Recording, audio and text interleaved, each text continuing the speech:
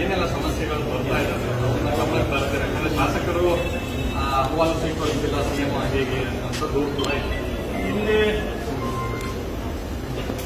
ನಾಯಕರಾಗಿ ಸುಮಾರು ಯಡಿಯೂರಪ್ಪ ಮುಖ್ಯಮಂತ್ರಿಗಳಾಗಿದ್ದಂಥ ಸಂದರ್ಭದಲ್ಲಿ ಮಾನ್ಯ ಮತ್ತು ಭಾರತೀಯ ಜನತಾ ಪಾರ್ಟಿ ನಮ್ಮ ರಾಜ್ಯ ನಾಯಕರು ಮುಖ್ಯಮಂತ್ರಿಗಳ ರಾಜಕೀಯ ಕಾರ್ಯದರ್ಶಿಯಾಗಿ ನೇಮಕ ಮಾಡಿದ್ದಾರೆ. ಎರಡು ವರ್ಷ ಅವಧಿಯಲ್ಲಿ ಮುಖ್ಯಮಂತ್ರಿಗಳ ಶಾಸಕರ ಮಧ್ಯೆ ಅಭಿವೃದ್ಧಿ ವಿಚಾರದಲ್ಲಿರ್ಬೋದು ಬೇರೆ ಬೇರೆ ಸಂಘರ್ಷಗಳು ಮುಂದಾಗ್ತದೆ ಸರ್ಕಾರ ಜೊತೆಗೆ, ಮುಖ್ಯಮಂತ್ರಿ ಜೊತೆಗೆ, ಶಾಸಕರ ವಿಚಾರದಲ್ಲಿ ನಾನು ಪ್ರಾಮಾಣಿಕವಾಗಿ ನನ್ನ ಕರ್ತವ್ಯವನ್ನು ನಾನು ಮಾಡಿದ್ದೇನೆ ಈ ಎರಡನೇ ಬಾರಿಗೆ ಸನ್ಮಾನ್ಯ ಬಸವರಾಜ ಬೊಮ್ಮಾಯಿಯವರು ಮುಖ್ಯಮಂತ್ರಿಗಳಾದ್ಮೇಲೆ ಬಸವರಾಜ ಬೊಮ್ಮಾಯಿಯವರ ನೇತೃತ್ವ ಸರ್ಕಾರದಲ್ಲಿ ರಾಜಕೀಯ ಕಾರ್ಯದರ್ಶಿಯಾಗಿ ಮರು ನೇಮಕ ಆಗಿದೆ ಅಷ್ಟೇ. ಇದರಲ್ಲಿ ಏನು ವಿಶೇಷ. ಮರು ನೇಮಕ ಮಾಡಿದ ಬಸವರಾಜ ಬೊಮ್ಮಾಯಿ. ನಾನು ನಿನ್ನೆ ಬಸವರಾಜ ಬೊಮ್ಮಾಯಿಯವರನ್ನ ಭೇಟಿ ಮಾಡಿ ಅಭಿನಂದಿಸ್ತೀನಿ ಮತ್ತು ಶಾಸಕರ ಮುಖ್ಯಮಂತ್ರಿಗಳ ಮಧ್ಯೆ. ನಾನು ಈಗಾಗಲೇ ಬೊಮ್ಮಾಯಿಯವರು ಮುಖ್ಯಮಂತ್ರಿ ಹೇಳಿದ್ದೀನಿ. ನನ್ನ ಕರ್ತವ್ಯ, ನನ್ನ ಕೆಲಸವನ್ನು ಪ್ರಾಮಾಣಿಕವಾಗಿ ನಾನು ಮಾಡೋದಕ್ಕೆ ಬದ್ಧನಾಗಿರಲಿ.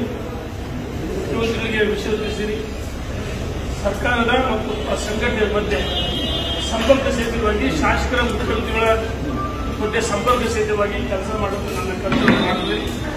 ನಾನು ಮಾನ್ಯ ಮುಖ್ಯಮಂತ್ರಿಗಳ ಭೇಟಿ ಮಾಡಿದ್ದೀನಿ ಜೊತೆಗೆ ರಾಜ್ಯದ ಅಧ್ಯಕ್ಷರು, ವಿಶೇಷವಾಗಿ ನಮ್ಮ ಅರುಣ್ ಸಿಂಗ್ ಅವರು, ನಮ್ಮ ರಾಷ್ಟ್ರೀಯ ಪ್ರಧಾನ ಕಾರ್ಯದರ್ಶಿಗಳು ಮತ್ತು ನಮ್ಮ ರಾಜ್ಯದ ಪ್ರಭಾರಿ ಡಾಕ್ಟರ್ ಅರುಣ್ ಸಿಂಗ್ ಅವರು. ನಿನ್ನೆ ಕರೆ ಮಾಡಿ.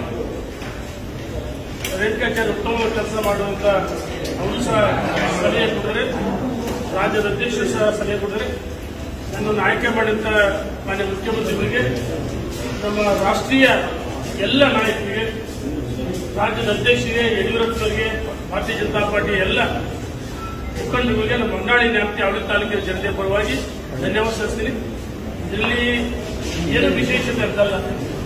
ಇದು ಒಂದು ಜವಾಬ್ದಾರಿ. ಮುಖ್ಯಮಂತ್ರಿಗಳ ಶಾಸಕರ ಮಧ್ಯೆ ಒಂದು ಸಮನ್ವಯತೆ. ಅಭಿವೃದ್ಧಿ ವಿಚಾರದಲ್ಲಿ ಸಮನ್ವಯತೆ ಸಾಧಕ್ಕೆ ನನ್ನನ್ನು ನೇಮಕ ಮಾಡಿದೆ. ಹಾಗಾಗಿ ನನ್ನ ಕರ್ತವ್ಯವನ್ನು ಮಾಡ್ತೀನಿ. ಭಾರತೀಯ ಜನತಾ ಪಾರ್ಟಿ ಸಂಘಟನೆ ಮತ್ತು ಸರ್ಕಾರ ಕೆಲಸವನ್ನು ಮಾಡುತ್ತೆ ಮರು ನೇಮಕದಿಂದ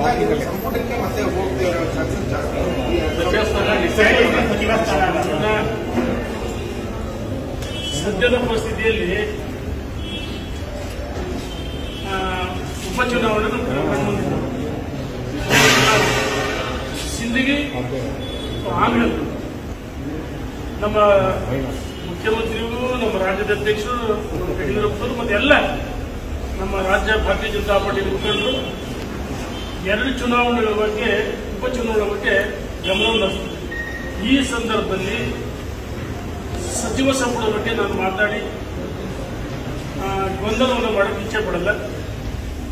ನೋಡಿ ಸಮಯ ಬರುತ್ತೆ ನನಗೂ ಸಹ ಮೂರು ಬಾರಿ ಶಾಸಕರಾಗಿದ್ದೀನಿ ಸಚಿವರಾಗಿ ಕೆಲಸ ಮಾಡಿದ ಅನುಭವ ಇದೆ.